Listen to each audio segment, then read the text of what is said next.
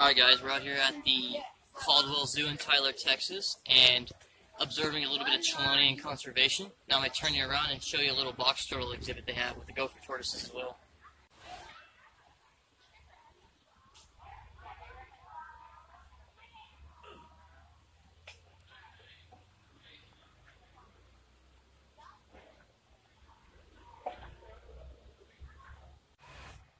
Alright guys, so we're back out here.